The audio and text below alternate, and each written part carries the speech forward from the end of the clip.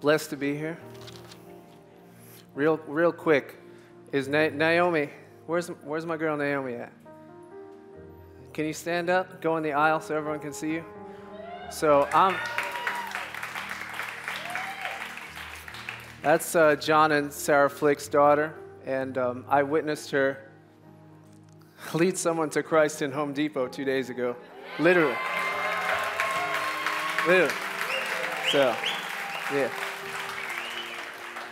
So she's, uh, the kids are on fire. The, ki- the Lord's on the kids, and it was amazing to see. Like, literally, it, I was following her around Home Depot, literally.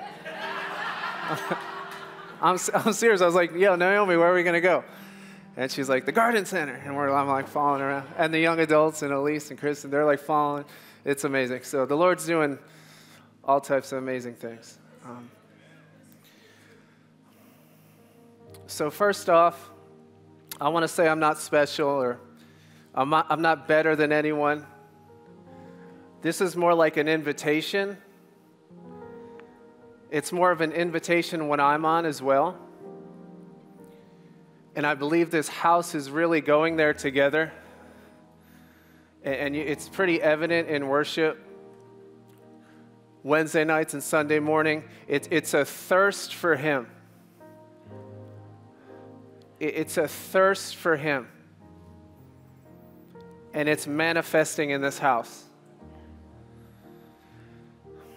I'm talking about the Eagle Mountaintop life, like that high mountain life that we're all called to, that's above the snakes and the scorpions and all the creepy things down there. We're supposed to be like up here. That, that's where we're going. I, I, I really believe it.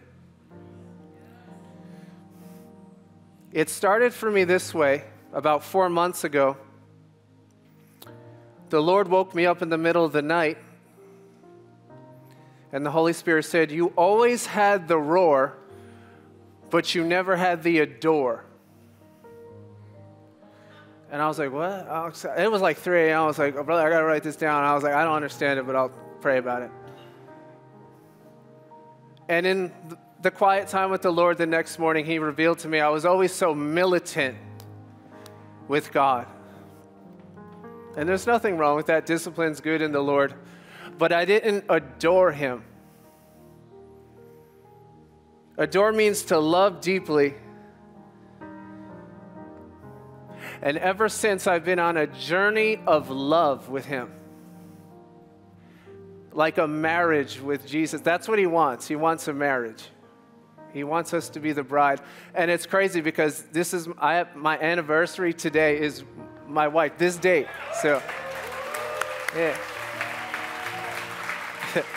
so it's a lot of prophetic things going on right now, but but the Lord wants a marriage. I'm a big intimacy guy. I love the secret place. I'm a believer in that truly 90% of people's issues around the world is because they don't hang out with God. They don't hang out with God. They don't worship Him. They're stuck in themselves. And, and if you're going through it right now, I'm not condemning you. It's, some people are going through it right now, and spiritual warfare is a thing. Deliverance is a thing, inner healing is a thing. I'm not saying don't do these things, but what I'm saying is there is another piece to the puzzle, and it's to adore Jesus Christ. Worship and intimacy with God is not about us. If we're not careful, our intimacy with God will look like this me, me, me. Lord, what, when I get the ministry, maybe I'll. Lord, how about this? I want this anointing. Hey, I see my buddy walking in these gifts. Can I have, like, of course, we can ask all things from our Father, and He gives great gifts, don't get me wrong. But there's something special when we hang out with Jesus, not wanting a thing, just wanting Him, just loving Jesus. It's like, God, I want you, and the and will destroy you if you let it. The and will mess you up if God's not first. He has to be first. I don't care if you're a janitor, and hey man, janitors probably make more than me. I'm a fourth grade teacher. I'm not, I'm not saying anything wrong being a janitor. There's nothing wrong with it. But you can be a janitor unto the Lord. That, that's what Jesus wants. If you know me, I love Exodus 33 with Moses. It's like one of my favorite chapters. You can do a whole conference on that chapter. Moses said, Show me your ways that I may know you. That know means intimacy with God. And further in the chapter, he said, Lord, if you're not going with me, I will not go. There's a lot of people who tell you plans and say it's God, but it, it's not. It's not God. You have to, like, I, last week I was on the floor with God, like, Lord, if it's not you, I don't want to do it. That's where we need to be. There's a lot of counterfeits out there. The Lord will do it in your life.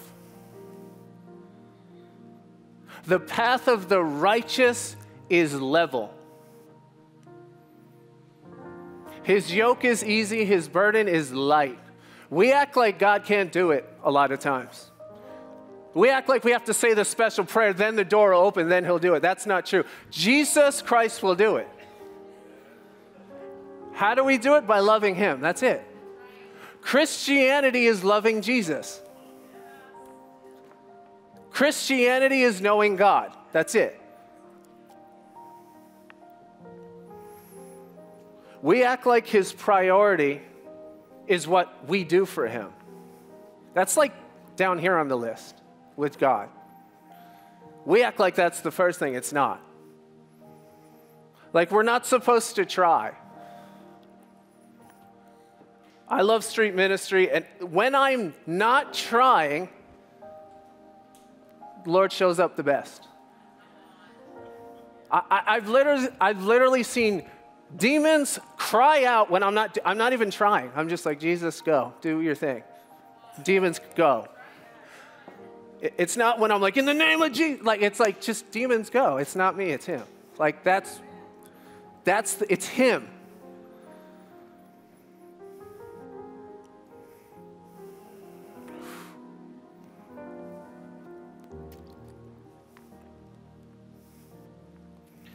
It has to be an overflow of spending time with Jesus. This is one of my favorite quotes ever, and I can't, I can't take credit for it. And I saw it at some random church service. And the minister said, said this If the devil can't make you a Judas, he'll settle for a Martha. So if he can't make you a traitor, he'll make you very busy, doing a lot of good things. And if you don't be careful, your identity will become in that and not Jesus. And I'm just saying that because I'm guilty. So I'm not saying I'm special in any way. I'm not saying I figured it out because I'm not special. But if you don't be careful, you can become guilty in that. And then confusion will come into your life. Pastor Todd said on Sunday, Beware of false prophets. My friend Nancy says all the time, she's like, Jezebel loves the prophetic too. Now, we got a cool prophetic house here. They check each other. That's the, they got a team. They check the spirit. You know, that's important. So what I'm saying is be careful. Be careful of the problem. You go to some random prophet and he says, "The Lord will close the door tomorrow if you don't make a decision, if you don't quit your job." Just be careful. I'm telling you, be careful of those things. Cuz I fell into that trap and I was in confusion. And where there's anxiety and confusion, that's where the enemy is. Don't despise prophecy. Because the Bible says not to. Prophecy, I've had such good words from the Lord prophetically in this house, and it helped change my life. So do not despise prophecy. Prophecy, but what I'm saying is be careful. We get into confusion when our eyes are off Him. Lord, what am I supposed to do? Am I supposed to be in this and that? Oh my God. And it's all about us. We're supposed to be like this and say, Jesus, take my life. Do whatever you I don't even care what I do. There's a special place where you don't even care what you do for him. You just drink Jesus and love him. You just want to be like honestly, if it was up to me, I'd be in the secret place all day. I'm not kidding. I would just love to hang out with Jesus in the secret place for hours and just everybody leave me alone. Like I'm serious. But it's from the overflow of the secret place where I love people. So it's funny how it works. You want to know the best prophecy that's always true? Jesus is saying to you right now, come away with me. Come away with me. Like in the Song of Solomon, he says, Who is this coming up from the wilderness leaning on her beloved? We're supposed to lean on him. It's a love affair. The Song of Solomon is a love affair with Jesus. Religion hates this, by the way. Religion hates this, but it's the truth. A lot of times we're looking for a word from God instead, of letting Him hold us. We're looking for a word, but He just wants to hold you. That, that is intimate. That is where the power is. Many times we go into the secret place or our prayer closet and nothing changes because we don't love Him. And I'm not saying we don't love Him, I'm saying we don't actively love Him, we don't worship Him. It's the fear of the Lord is saying, Lord, take it all. I don't even want it. That's the fear of the Lord. The fear of the Lord saying, Lord, I want you above everything. That's the fear of the Lord. It's, it's a respect and awe for Him.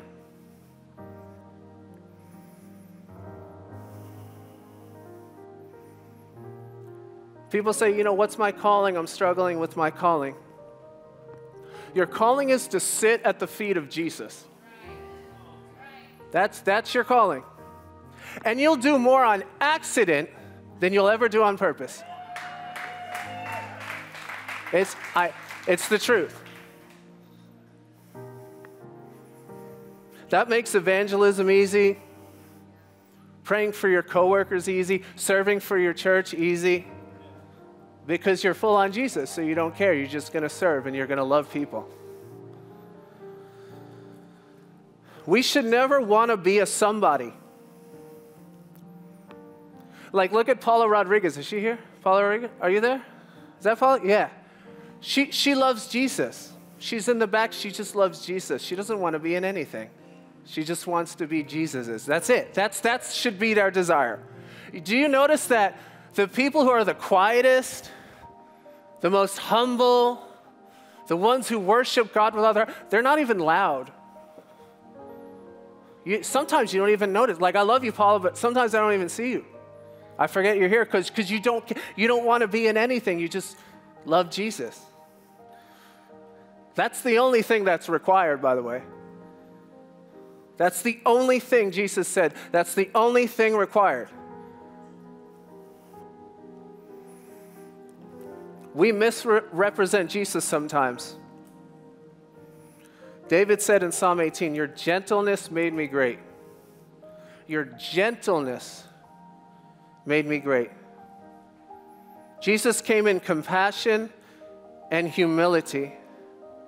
The Bible says he wasn't heard yelling in the streets. In fact, when Judas came with the large crowd to arrest Jesus, Judas had to kiss Jesus so they knew which one to arrest.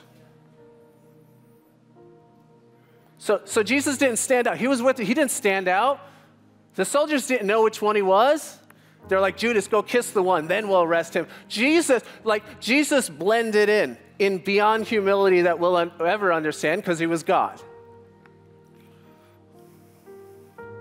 And we, we want to be the guy. Jesus never wanted to be the guy, he just was. He just was the guy.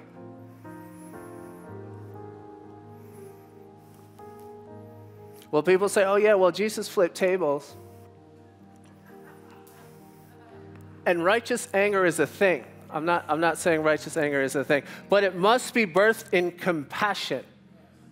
It must be birthed in compassion. If you have righteous anger, but you didn't have tears first, you might want to check it. That's all. But righteous anger is a thing. I, I truly believe Jesus was flipping tables with tears in his eyes. I really think Jesus was flipping tables with tears in his eyes. Maybe I'm wrong. I don't know. We'll find out when we get to heaven.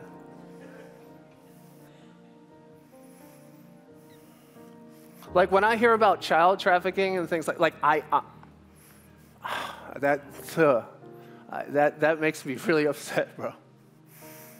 it's, because it's, it's like it's a compassion thing. I hate that. Like I watch the news like two. I can't stand the news because it just I, I can't. And some of you should, and it's good, and you guys should be doing that. But I just I can't. Like I watched a high schooler punch an eight-year-old girl on the school bus. Like like, uh, did y'all see that? Uh, it's disgusting. Like I, I saw that and I just I wanted to cry. I could. It's disgusting. That's our public schools, by the way. Just saying. Florida, by the way. It's always a heart motive. We must look unto Jesus. Looking unto Jesus means putting everything else aside and looking to Him. I bet Pastor Massey knows how Charles Spurgeon was saved. A preacher yelled at him and he said, Look to Jesus. That's all he said. He said, Look unto Jesus, look up. Charles Spurgeon came in the back row, and this preacher said, Look to Jesus. And he was saved instantly. That's, that's most of our issues, looking to Jesus.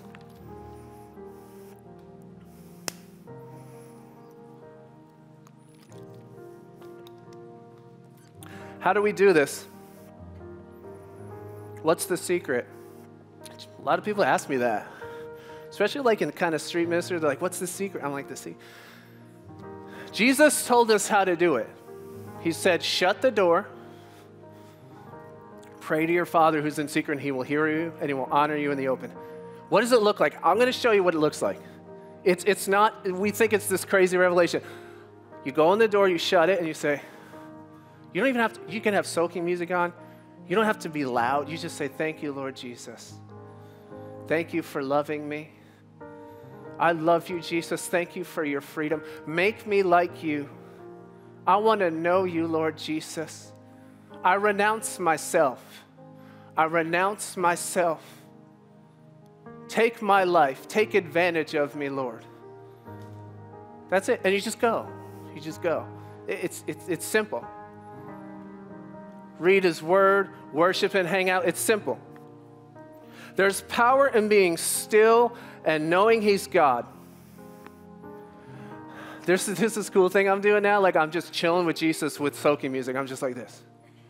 I don't even say anything. Like we don't even have to say anything.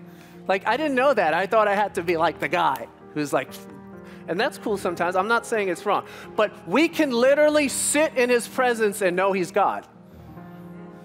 And know He's going to fight for you, like the Exodus 14 14 life.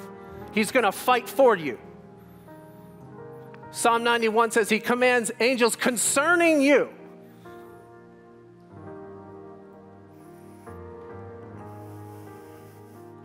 I'm almost done, don't worry.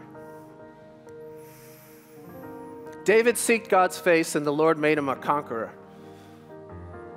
That's all David did. He, he seeked God's face. He wanted God's presence. That's it.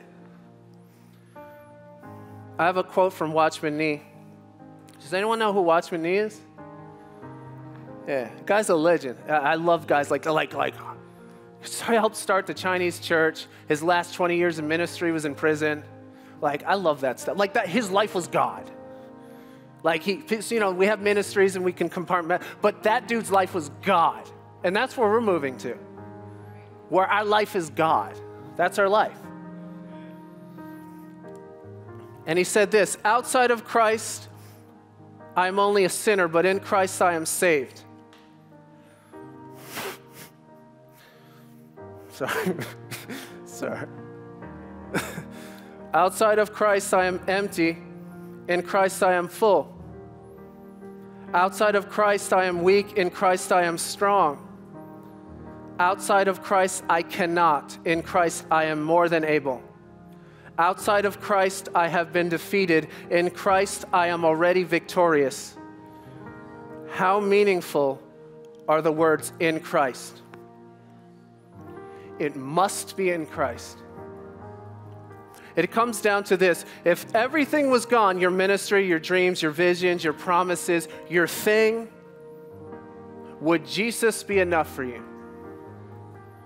That's, that's an answer we all must deal with, and He will bring that question to you, I promise you. And He says, Am I enough for you?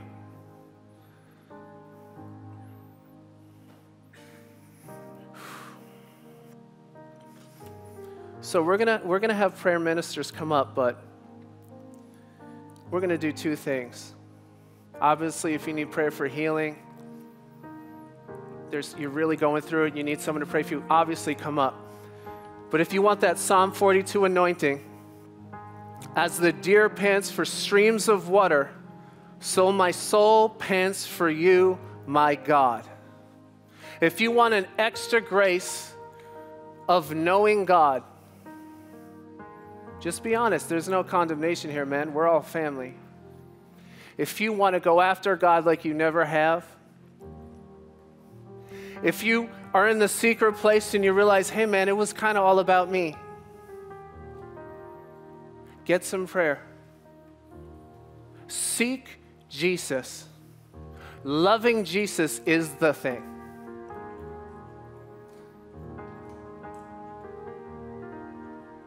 In Jesus' name, amen. Thank you for joining us today at Revive Us Now at our YouTube channel. Remember to click that subscribe button to Revive Church and share this video with a friend. And if you'd like to support this ministry, go to reviveusnow.com forward slash give.